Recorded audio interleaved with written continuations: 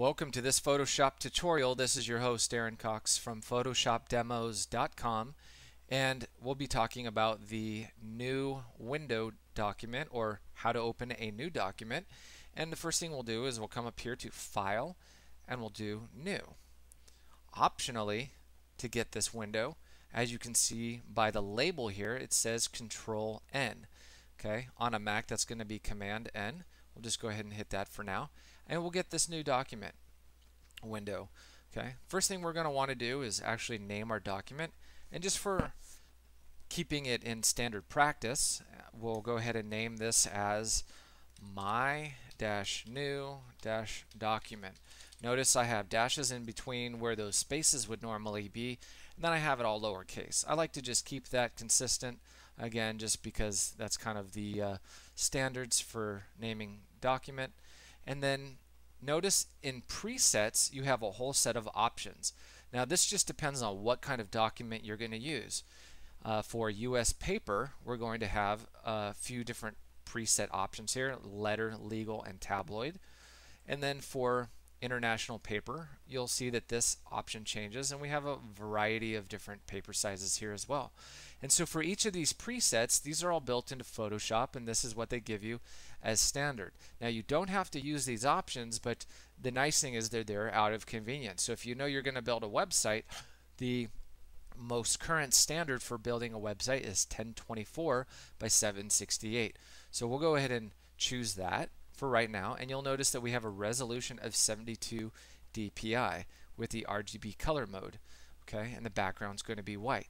Now if I was to change this to photo you'll notice that now I have a variety of different standard photo sizes. Every front thing from landscape to even portraits okay? A landscape is just wider than it is tall and the portrait is going to be taller than it is wide. So if I do an 8 by 10, you'll notice that by default this gives me a 300 pixel per inch image and it's 8 by 10 inches wide.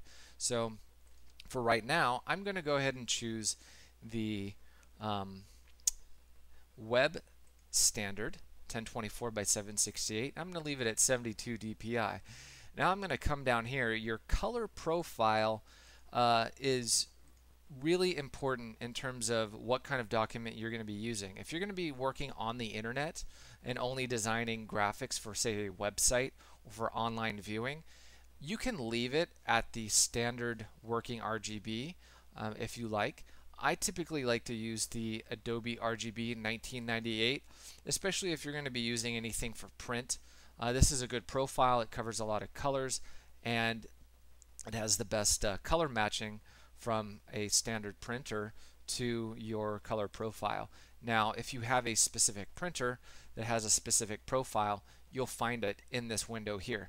So just be aware that each printer may have its own color profile and you will want to choose the correct profile that matches your specific uh, document that you're working on. Now if you're going to be working on video, you may want to be choosing the PAL or the uh, other option down here, which is NTSC 1953, uh, just depending if you're going to be working with video, because that will, and again, the PAL is more for the uh, European standard, and NTSC is more the American standard for working with digital video. Um, and you have a lot of different options here so just be aware of the different ones and pick the one that best matches your document so now that I have my document named I have the appropriate size I can go ahead and choose OK. And then I'll get a document that now fits that exact size. Okay, So that's how you open a new document, a brand new document. If you want to open um, existing files, just simply hit Browse, or you can do Open. And if you do Open, that's going to pick an image from your local desktop. This is a project I'm working on right now. Or you can go to Desktop and find the image from your actual desktop for right now. I'm going to go ahead and cancel that because I'm not opening a existing document. And I'm here with my new document. And now once I have that open, you'll see that I can open up my layers palette here. And you can see that I have this new blank layer and I can start fresh with a brand new document. And just coming back to the new document window, just to give you a couple more little last minute tips, is additionally, you can go into Device Central. This is a new feature of Adobe CS3. And this will open up a whole new dialog box that pertains specific to different devices such as mobile phones, PDAs, and um, other handheld type of um, devices. So just giving this a second here, I'll go ahead and resize this a little bit so you can kind of see what's going on in this particular window. And so with this particular area here, uh, you'll be able to choose everything from different types of phones, different types of PDAs, and when you choose these different options, they'll be preset to the size standard that they need to be for that specific document. So look through the list here.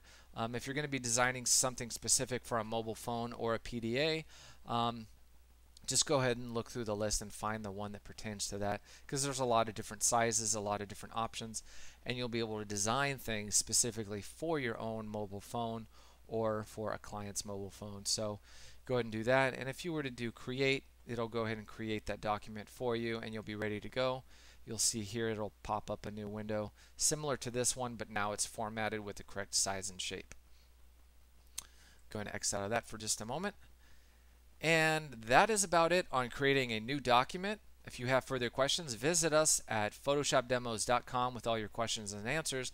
Otherwise, we'll see you next time. Thanks for watching. Again, this is your host, Aaron Cox from photoshopdemos.com.